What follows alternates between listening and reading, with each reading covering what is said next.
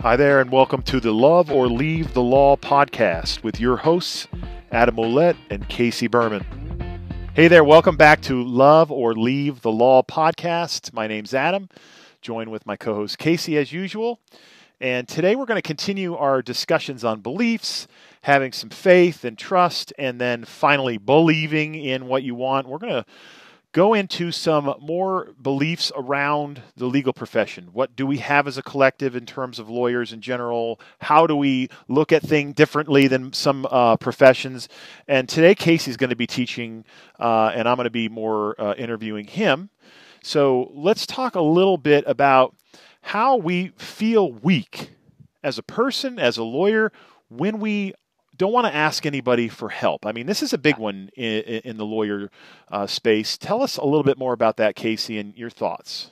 Yeah, absolutely. Thanks, Adam. And everybody, we've been talking about beliefs, limiting beliefs, uh, how our mind works and what we think about that's getting in the way of us really optimizing our legal practice or, or leaving the law for something else. So please check out the most recent episodes, which have sort of led up to uh, to this one. Um, I grilled Adam on the past few, and he taught, just gave some really great insights into into how to help us with those beliefs. And today is kind of shifting it to me. This kind of near and dear to my heart with a lot of people that I work with at, at Leave Law Behind in helping attorneys leave the law.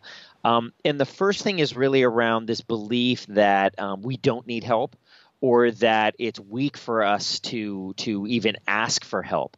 Uh, so I speak with, uh, I work with a lot of attorneys who are looking to to leave the law. Um, they want to change careers. They want to shift. They're sort of unhappy with it. And and once we work together and really understand that they're sincere in doing this, they they should really leave the law. They don't. They shouldn't stay in the law. And so once we get to that point, um, the the next point is to you know who else can we go to for help? Who else can we can we go to for uh, for help on how to learn about a certain industry or how to learn about a certain technology or so on? And lo and behold, what happens a lot is this belief that attorneys, um, even when they're leaving the law, should be able to do this on their own. And that going to ask for help is something that is seen as a negative. It's something as showing a weakness. It's something as showing that that you just don't know it all. And what I always uh, uh, tell the the clients that I work with is, welcome to the the rest of the world. Um, in the rest of the world, the non law world, the alternative world, where we don't practice law, but we do all the other business and the other stuff, you know, asking for help, delegating, making mistakes is really um, uh, accepted. It's encouraged. Granted, you don't want to fumble on everything, you want to improve and get better. But um, it's really, uh, I really see that a main obstacle to people leaving law is this idea that they they just can't look elsewhere. Um, and it it is so limiting this belief. Now I know we have this belief that we need to be perfect. Um, our brief needs to be totally tight. We can't have typos. We have fiduciary duties. I mean, there is a real need to be perfect and to and to maybe not show this need for help in law, but it's just different when you're leaving the law, and it can even be different when you're looking to refresh your practice. Um, to really, uh, you know, pick ideas from other people, to really admit that you just don't know what you're doing. Um, those are things that are celebrated and accepted outside of the law. And it's something that I, I really feel people, as we're looking to change our life and empower, um, it, it's a shift in belief that that I hope people take away with and, and feel more comfortable about. Yeah, and it's interesting. Um, I'm listening again to the E Myth for Lawyers, which is basically how to systematize your practice, and it was written some time ago. And one of the things that uh, these two lawyers helped uh, the author write this because he wrote one for the book for small business, and then they started writing them for CPAs and attorneys and this and that.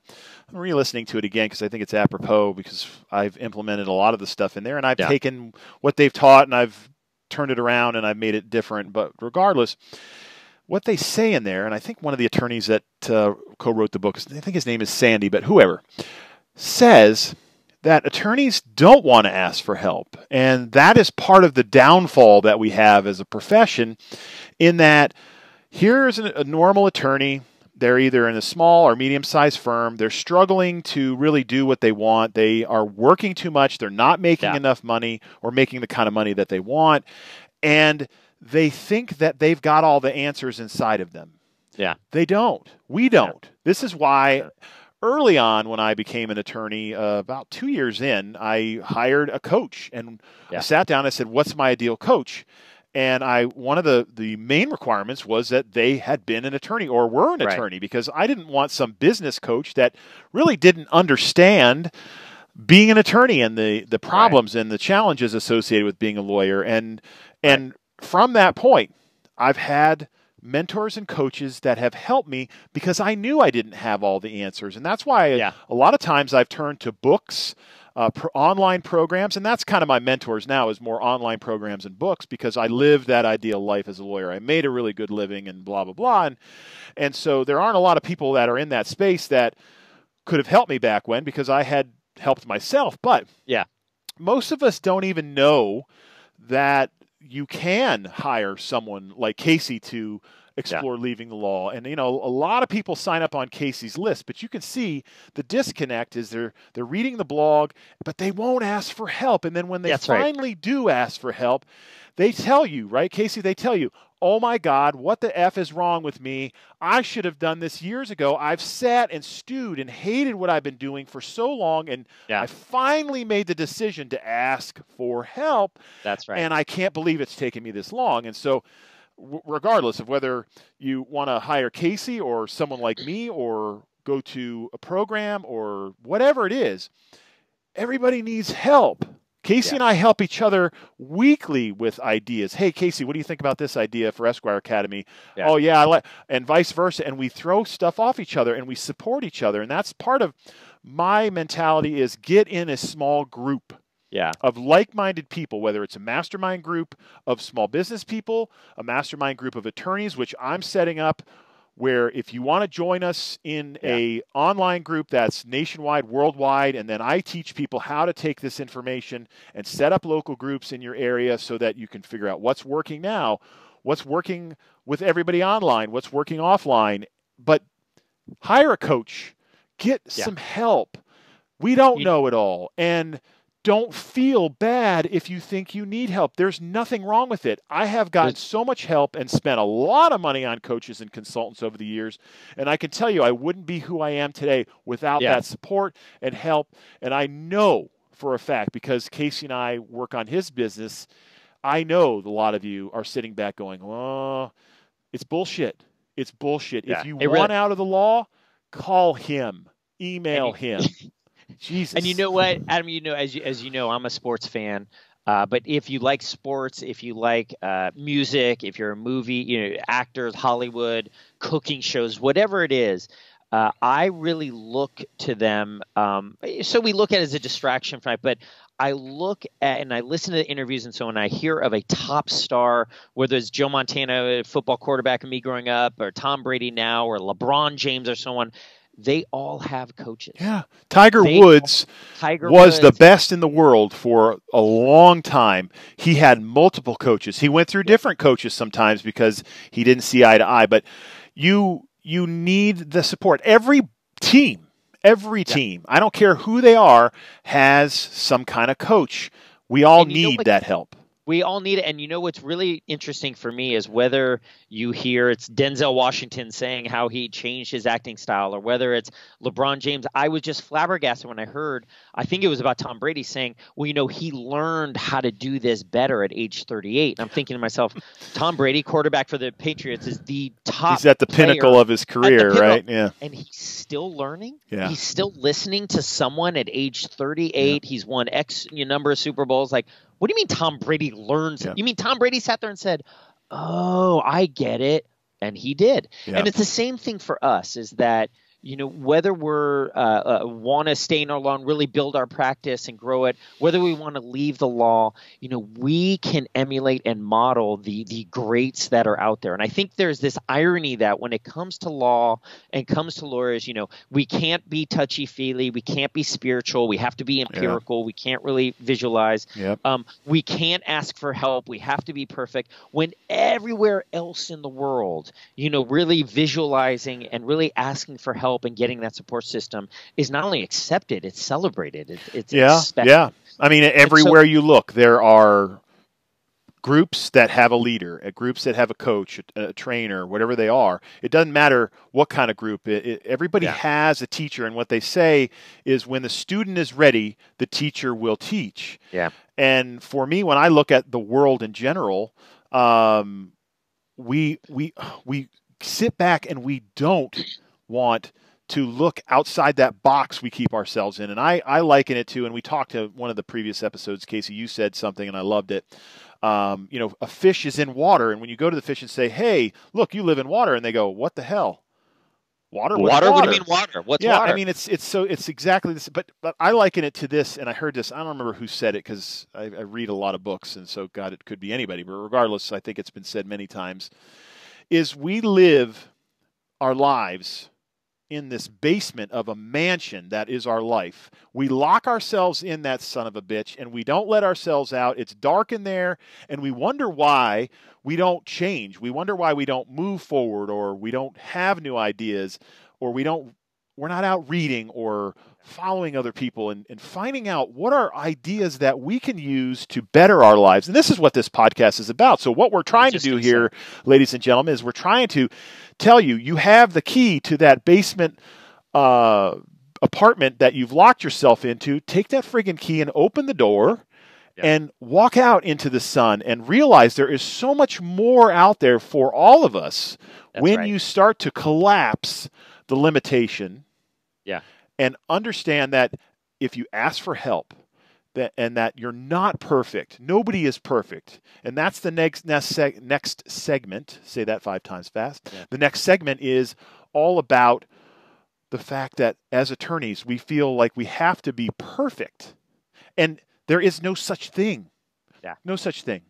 Casey, talk to I us know. a little bit about perfection because I know everything we've talked about so far, you work with your clients on, and this is, as we said, this is the problem eh, that some people just won't reach out to you for help, and then when they do, it's like holy shit. So the other part of this uh, adage in that we don't want to ask for help and then we expect ourselves to be perfect. We put ourselves up on this pedestal and we create so much stress and drama in our lives because we feel that if we make a mistake, that's the end of the world.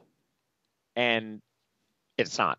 It's no, absolutely not. It, in many ways, it's it, it it's a learning experience. It's the end of something and the beginning of something else.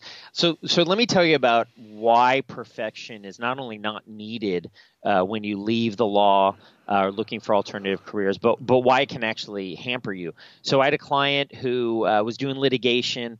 Um, again, I work with people who leave law behind to help them leave the law and to find uh, jobs and roles and careers in alternative, uh, you know, non-law uh, spaces, everything else besides transactional litigation. And so, working with uh, an attorney in LA, uh, she was just over law, just was more collaborative. Uh, didn't want to do litigation anymore. Um, a number of reasons why she wanted to leave. And I encouraged her. I said, you know, go talk to people. Obviously, keep it a confidential. Don't talk to people at your firm. You don't have to hire a blimp and tell the whole world. but start start telling people. Start talking to people about it um, get help. So she started was very hesitant to begin with, mm. and one of the main reasons was she wanted to be perfect. And what I mean by that is she didn't want to be embarrassed and have people think, "Oh, so your life isn't so good. You're trying to leave. You're not mm. as perfect as we thought." She liked the stature that came with being an attorney. So she started telling a few people, and they said, "Okay, well, I'll keep you in mind." First of all, they didn't point a finger and say, "Ha ha ha." They said, interesting. And I think they even appreciated her opening up.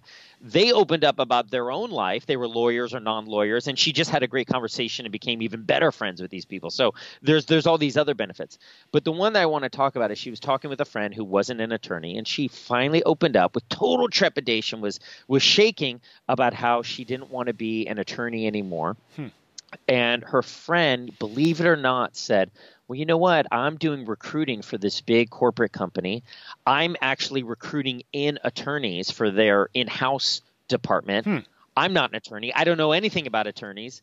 Uh, I want to do recruiting somewhere else. What do you think? You know attorneys. Hmm. And she had talked about how recruiting or sales or working with people is something she like. Long story short, this person brings her in. She interviewed, she gets hired, and she's now uh, been a year now doing legal recruiting wow. uh, for this big corporation. She loves it. You never she know. gets to be a matchmaker. she does her sales. She loves people. She doesn't ever practice law, but she knows how lawyers things on and on. So it's just another success story I've had through Leave Law Behind. It wouldn't have happened if she had not essentially said i'm not perfect if she had not asked for help and i i throw that example out there and there's so many others where you just when when you say when you go to the world and say i'm not perfect you know what it's going to be fine. Not only is it going to be fine, but people are going to be flattered and honored, and they're going to want to help you. You get the help, you go from there, you change your life, and and and you know become happy, confident, a lot of self worth, make more money. So that is an example of how being perfect and not asking for help can be real limitation in just building relationships and also in just kind of totally overhauling your life. Yeah, and as human beings, there is no such thing as perfection. No the ego mind, the personality self is always going to have a problem with something. And so it's like when Casey and I developed our online courses, there's a part of us that never wants to put it out because it has to be perfect. And Casey That's and I right. went through this when you launched your course a few months ago and yeah. and it is a human trait that we we we don't want to quote unquote embarrass ourselves and, and we don't want to feel bad because we haven't done what we're supposed to do. But at a certain point in your life, you have to realize that you're never going to have perfection and you're always going to be working towards something. And that is what life is about. It's about the journey, yeah. not the destination. I hate to throw that in there, but it's very true. Yeah. And in it my is. own life, I look at this and it's like, you keep saying, well, when I get to this point or I make this much money, then I'll be happy or then I'll do this or X. A lot of people go through their whole lives, and when you look at what people are on their deathbeds and they regret was not making the movement towards what they really wanted in their lives and just staying stuck.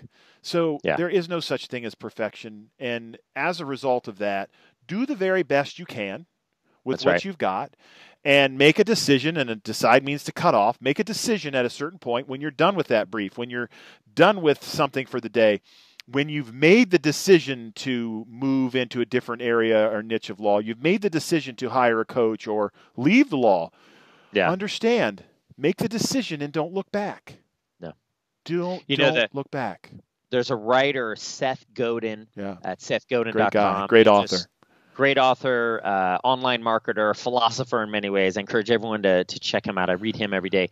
And he's got this phrase was called ship it. S H I P it I T. Just ship it. Whether it's an idea, a product, yep. whatever, just get it out the door. Obviously, you don't want to do subpar material, right. but but just when it's ready and go. And and think about what we have every day, our iPhones. You know, if if Apple had waited or the Galaxy or whatever you use, you know, if Apple had waited until iPhone 7 to ship it, mm. uh, they never would have shipped it. And the only reason there is an iPhone 7 is because it's been built on all of the stuff they've done. I mean, these are they are marketing it to the world, and you know what? They've made mistakes. Things weren't totally perfect. They've overhauled the software. They've overhauled how things looks. They've changed the earphones. And you know, we look at it like, well, that's just developing of a of a product. That just happens. Of course, Apple can do it. Well, you know what? We can do it too. We can go out there and kind of put ourselves in front of the world, whether it's within law or not, and it doesn't need to be perfect. Yeah, I mean, look Um, at the iPhone 7. They they took off the headphone jack, which everybody was like, "Oh my God, how are you doing that?" And that's 50 year old technology, and it it's a, a waste of space from their perspective. And I have an iPhone 7, and I think it's a good idea. But as soon as that phone shipped, was it perfect? No. There were problems where people had these new headphones that were plugging into the lightning jack and it was dropping the headphones. And so, Yeah. don't you know that they had to go in and fix it? And so, this is exactly the same thing in life. If you put something out there and, and it needs a, a little bit of a fix, you do it because Do it. you understand that you ship it. That's right. I love And that the- statement. You, you just you ship it. That's what Seth Godin talks about. And sure, there's parameters within the law. There's deadlines and judges who give you the dirty look and so on. But in in the in the big scheme of things, there's always an opportunity to one, you don't have to be perfect, and two, you know, to fix it. Yeah, I, Um, I, and, and this is a good uh, uh, an aside on this, and we're going to move into a couple other short topics, and we'll end this episode. But I um, I have a, a lady that I'm, I'm mentoring, and uh, I had her get a copy of my book, and she's reading my book, and I've had lots of people read the book and gotten lots of great feedback. And don't you know that she found a small typo that everybody under the sun has missed, including the, the editors that I spent thousands of dollars and paid over the years, and even the lady that did the uh, book and internal guts and all that and put that together. And she emailed me, said, "Oh, you know, I just found this thing. There's a number part wrong, and you just need to change this number." And I'm going, "Holy shit! All these people missed this, and it." It's, it's still not perfect. It never will be. I don't yeah. care what happens. That book will never be perfect, but it is about the main ideas of it and sharing those ideas. And regardless, I am not a uh, person that likes the minutia anyways, and so I yeah. I would have never caught that. But that's just an aside, and um, and and so. you know everybody. Uh, Adam has written. Adam's an author. Uh, written "Raise the Bar." You can find it on Amazon. It's something that I read when we when we first met. Um, and a lot of what we're talking about in this podcast, the beliefs, um, are written there. You can you can read it on your own at your own pace. You can always out, make outreach to Adam. But you know, Adam is is some what I admire uh, a lot. I admire about Adam, and the reason we're working together. But a lot of it is we lawyers have said, "Well, I like to write. I want to be a novelist. I want to write my book." Adam's done it. Mm. He wrote it. And uh, we've talked about the tips and tricks to actually writing a novel. We're going to get into more detail later, but uh, guys, I really encourage you to to check out his book, Raising the Bar, on on Amazon. It was um, a, a, labor lot... of love, and it's for you. It's for you yeah. as a lawyer. I mean, this is exactly why I wrote it. And yeah. a lot of what we're talking about here is within those pages. Yeah, I mean, you, you would learn a lot in depth from the book, and yes, there's Esquire Academy that's going to take you on a super deep dive into this stuff, but th- that book for the kind of money uh, you'd pay for it is is a lifetime of my knowledge and many many years as a lawyer and, and everything right. that I learned uh, on a on a gr- uh, grand scale. But yeah. um, no, thank you, Casey, for saying that, and yeah. I appreciate that because it was a labor of love and it, it, was something I had to let go of limiting beliefs on, and we've talked about uh, that in previous episodes, so we won't go there and and reiterate ourselves. But the next part of this is really why do we become lawyers? I, and I yeah. think we've talked uh, briefly about this in why the law sucks and then why the law is a great profession, but I want you to reconnect with why you went to law school and why you became a lawyer. Guarantee you that there's probably something there around wanting to help people. And yeah.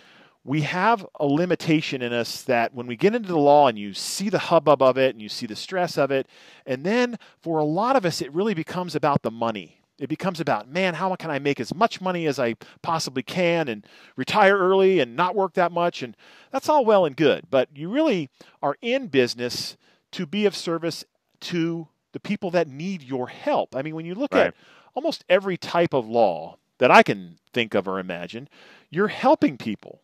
You're helping people in litigation where there's a dispute, solve the dispute, hopefully in a reasonable fashion. when you have someone that wants you to do a will for them, they need help. They want their estate planned. Right. If you do transactional work like I did a lot of, you've got a real estate uh, contract that needs to be closed, or you have a bank loan that needs documentation. I was being of service to people. And Casey, you were yeah. being of service to your companies that you've been general counsel for, uh, guiding them in the right direction with all right. of the laws that are out there. And so what I really want you to do is reconnect with the reason why you went to law school and forget so much about the money because if you do the work we've talked about and you study what we've we've taught you, study it intently and start to implement it, the right. money has the ability to come to you if you're open to it. If you open that pipeline that we've talked about and start to slowly pull that cork out and allow it to come to you, the money is really not that big of a deal. The reason you're here in this profession is to be of service to others and to help That's others. Right. And so I've always looked at the idea of anybody that has been in, in the law for uh, seven, ten years or more to start to mentor younger lawyers. There's a real need for this right now, too. And you're starting yeah. to see a lot more mentorship opportunities in the local communities and the local bars. But I, I say this because if we're to grow as a profession, if we are to establish ourselves as a trusted profession once again, I think this is integral to uh, moving us forward in big ways. And so, if you haven't looked at the opportunity to mentor some younger lawyers, if you are an, a lawyer that has a, a foothold and you know what you're doing and you can really yeah. help them, um, reach out to your local bar association and see what they're doing. And if they're not doing something like that, maybe you can spearhead something to that effect. Now, down in Broward County, where I practice law, um, they have a really amazing mentorship program that they're growing. And so there's people there that could be a resource for you if you want to start doing these kinds of things. But why did we become lawyers? To be of service. Always remember that because for me, yeah. in my professional career as a lawyer and owning law firms and companies associated with law firms like title companies and closing companies and stuff like that, when I really connected deeply with wanting to create raving fans of my business that would go out of their way to talk about me and my companies, I really understood that it was about attracting ideal clients first and foremost, the ones that really needed my help and that were aligned with me and my vision and everything about my business. But the other part of it was just giving them the best quality service and feeling and everything around what we were doing that yeah. I could.